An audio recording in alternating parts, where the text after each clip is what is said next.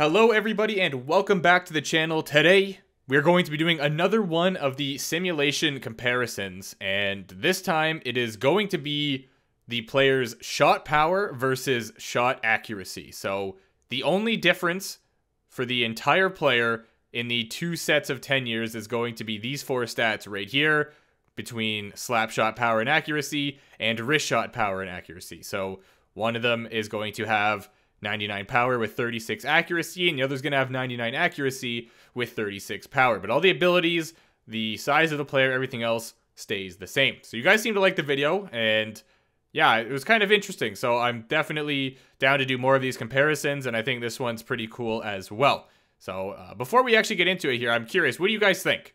Just off the top of your head, if you had to guess, do you think it's more important to be able to absolutely rip the puck, even though you might not hit the net a lot of the time? Or do you think it's more important to be able to place the puck, even though it's going to be pathetically weak? I just want you guys to ponder on that and think before we actually get into it here because I don't know. Um, maybe you'll be right with the result, maybe you won't. But I will say this that there definitely was a difference this time. So, we're starting off here with the player that has 99 power and very little accuracy. 20 points in 24 playoff games, but not scoring a whole lot of goals. The Golden Knights are going to take home the Stanley Cup in year number one, and the Panthers would have a very successful playoff run, making it all the way to the finals, where they would lose to the Golden Knights in six games. Year number two, they finished 10th in the league.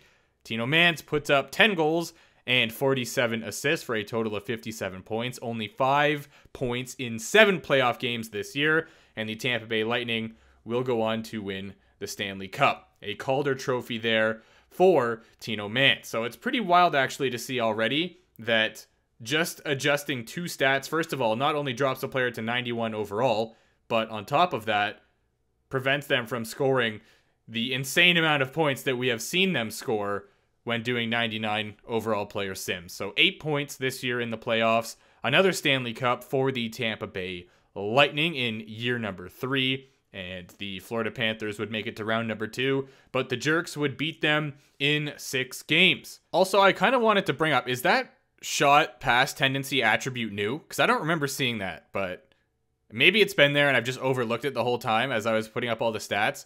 However, I do feel like I would have noticed that, so I think it's new. But if you guys could let me know, that would be pretty neat.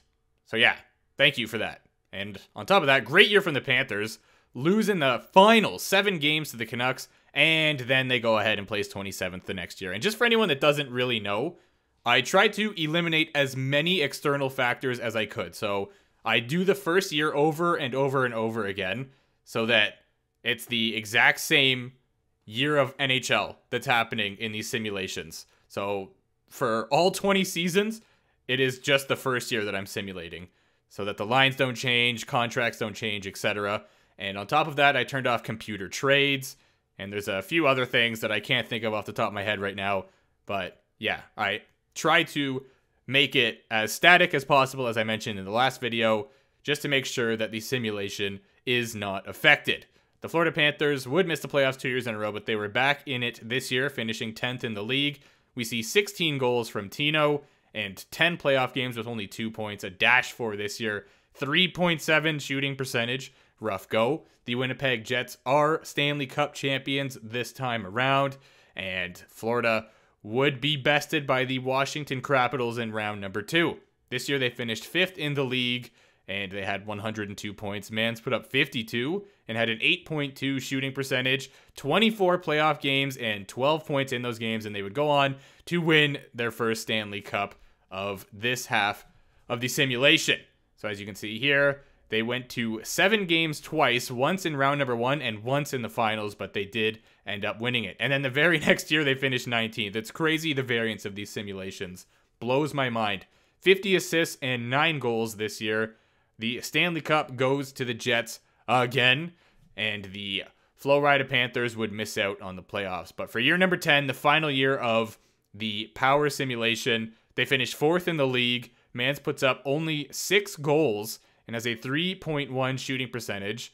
In the playoffs, he played 15 games, put up six points, and had a 7.7 shooting percentage. The Golden Knights are Stanley Cup champions for the final year of the power simulation, and the Panthers would make it to the conference finals but be swept by the Islanders. And now it is time to move on to the accurate players. So, one thing to notice right off the bat is that when power is all the way down but accuracy is up, the player is not 91 overall. They are, in fact, 93 overall. So, I'm kind of just going through here to show you guys that the shot pass bias is the same and that the details of the player are the same. And then I also show you that the abilities have not been adjusted. The only stat that I touched was the accuracy and power of both types of shots. And I'm showing you here again that I tried to eliminate as many factors from changing the simulation as possible. Obviously, we have a bit of a chemistry difference here, but the lines are the same. Someone pointed out to me that that is likely the result of the head coach. And yes, you're most likely right. I forgot about that. So the coach would most definitely be causing these chemistry issues. Still plus five for Weegar and Ekblad, though. That is insane. And then Bobrovsky and Knight in net for the Panthers. In year number one, they finish eighth with 47 wins and 101 points. Mans puts up 35 goals already this year and has a 12.6 shooting percentage. So I think you already know where this is going.